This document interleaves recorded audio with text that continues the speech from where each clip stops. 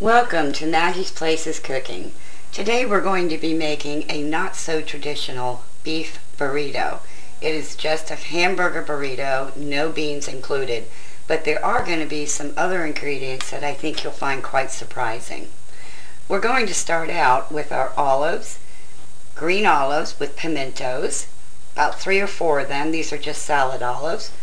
And we have some onion diced up, some celery diced up, and the leaves from the celery. Don't discount those leaves. They give great flavor. We're going to go ahead and soften these up and then I'll be removing them to another plate and adding our hamburger meat. I've set aside the celery, the onions, and the olives and the little celery stems and in the same skillet where we had the nice flavored oil from them cooking in it, I've added our hamburger meat. Uh, this is about a pound of hamburger meat maybe a little bit over. And to this, I'm just going to add some freshly ground black pepper. We're going to let this go ahead and brown up, and then we'll be adding our other ingredients. Our ground beef is all nice and brown now, and we're going to go ahead and add back in our celery and our olives and onions. And we're also going to add our parsley. We have onion powder, garlic powder, paprika, cumin, some dried cilantro, some oregano, and paprika. And you can get all of the uh, ingredients, measurements on the recipe website, Maggie's Place Cookbook.info. And go ahead and stir this up. Make sure it's all very well blended.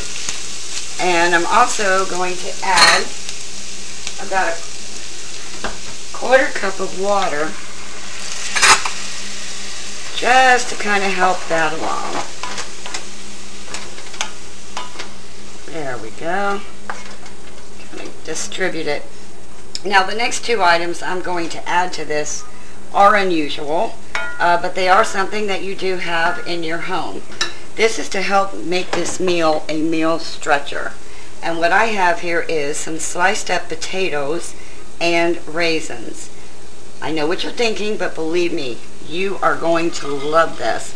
The raisins add such an extra flavor. It's like that uh, sweet and salt. It's just really delicious. So I'm going to mix this up. And if you wanted to make this a little bit spicier, you could add cayenne pepper at this point. Uh, when you were cutting up your celery and your onions and your olives, you can also cut up like a jalapeno pepper and cook it at that stage. It's Just go ahead and cover this and we're going to turn it down to about low, a little bit higher than low. And we're going to let this simmer until the raisins start to plump up. I check it in about three or four minutes, give it a stir, and once you see the raisins start to plump, you're ready to go. Our spices have incorporated really nicely and I've also added a packet of taco seasoning and about another half a cup of water. I've let it simmer for about five minutes and our raisins, probably can't see it, but they are plumping up very nicely. And we are almost ready to assemble a burrito. We'll let this simmer about another five minutes. When it comes to heating up the tortillas, everybody has their own preference. Uh, you can put them in the microwave, uh, that's what I do, and I put a paper towel underneath them because sometimes when you put them in the microwave, you get moisture underneath your burrito and nobody wants a soggy burrito. So I heat it, I remove the paper towel, and then we're going to go ahead and we're going to add some of our meat. Just a nice line right down the middle. You don't want to fill it too much because then it'll be hard to eat. And they are quite messy. And whatever you like on your tacos will go on this too. I like to put some uh, shredded cheddar cheese. And I like black olives. There. And also, I like a little bit of sour cream. Just pouring on the flavor. And you can do what you want. Uh, you could build a little bar. You can uh, add some like diced tomatoes, some celery, onions, more olives, black olives, green olives, whatever your family prefers. And then you close it up. Makes a nice little knapsack, sort of. This is a delicious meal.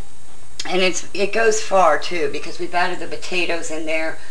We've added the raisins which give it a very unique flavor. It is one of the easiest skillet dishes I've ever made.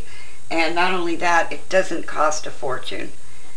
I hope you like this recipe and I hope you enjoy this in your home.